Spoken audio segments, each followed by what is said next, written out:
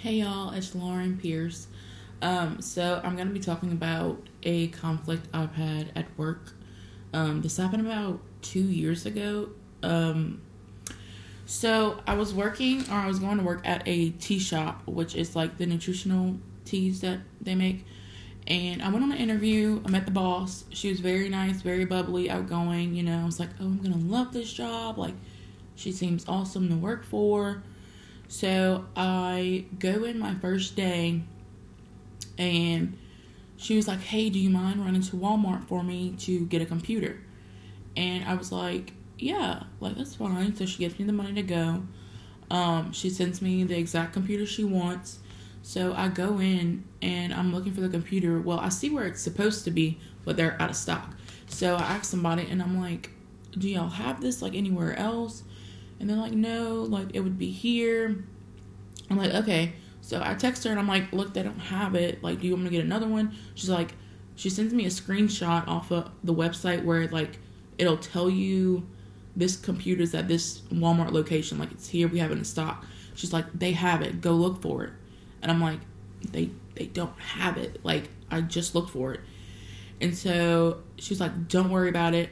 And then she texts me again and she goes, go find the manager. And I'm like, I don't I don't know who the manager is. And so she texts the manager because she knows the manager apparently. And she's like, go find the manager. She's looking for you. And I'm like, okay. So I'm walking towards the front of this Walmart. And this lady's standing there. And she's like, are you Lauren? And I'm like, yes, ma'am. And she goes, all right, come with me. And so they don't have it. And so my boss is like constantly blowing on my phone, like, where are you?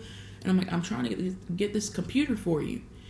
And she needed one other thing, and I got that and I didn't get the, get the computer because she was like, "You're taking too long. Get back to work." And this is my first day, so I'm like aggravated and annoyed that I've been sent on this mission to get something, and it's not going right, and she's just being rude. And I'm like, okay, like I'll get the other thing you wanted to get, and I'll be back in a couple minutes. So I'll get back to work with some colored markers she wanted. So I hand them to her, and she's like, "Why did you get these?" And I was like, you you wanted colored markers, so I got the colored markers. And she was like, No, I didn't want these. I wanted the other set of colored markers. There was two sets, so I just picked one. She didn't specify. And I was like, okay, I'm sorry. So that's one thing. Um, keep in mind there's a couple of different stories to this thing. It's not one big story. It's, I worked this job for two weeks and I quit because I was just over it. But anyways, the next one I go in another day, and the way we wash dishes at this place was wash, rinse, and then sanitize.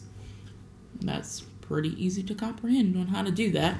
So, um, I don't know what made her like basically pop off at me, but she was like rude and she was like, Do you know what this says? And I was like, Yes, like it says wash, rinse, sanitize. And she was like, Do you know how to wash dishes? I said, Yes, I, I do them every day in my house.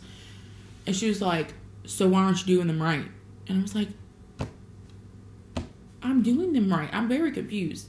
I just think she was in a bad mood that day. But, anyways, that was another thing that aggravated me. Then another time, a customer came in and she wanted.